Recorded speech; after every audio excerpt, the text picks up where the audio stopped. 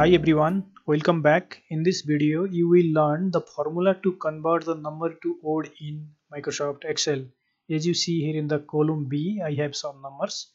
My requirement is to convert these number into the odd format.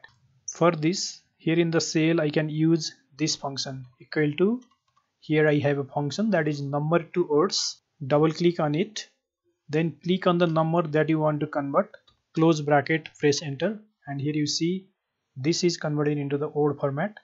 Click on the fill handle then drag this down. And all the number gets converted into old format.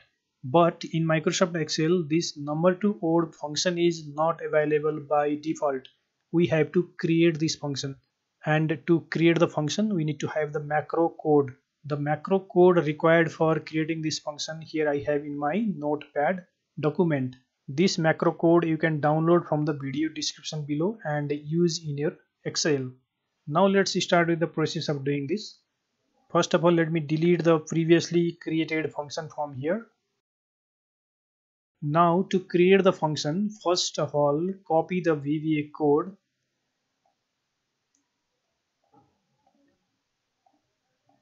Then click on developer tab, click on Visual Basic click on the insert tab of Visual Basic click on module and here paste the copied code.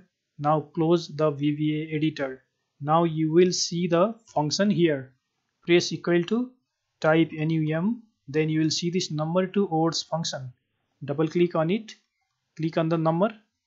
Close the bracket. Press enter and you will get the numbers converted into odds after doing this you need to save this excel file as a macro enabled file. For that go to file tab click on save as and here in the save as type you have to select this excel macro enabled workbook. Then choose the location where you want to save the file. Then click on the save button. This will save the macro enabled file in your computer.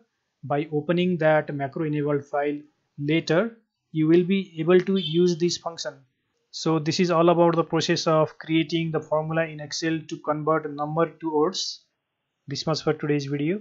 Thank you very much for watching. We will again meet on next video tutorial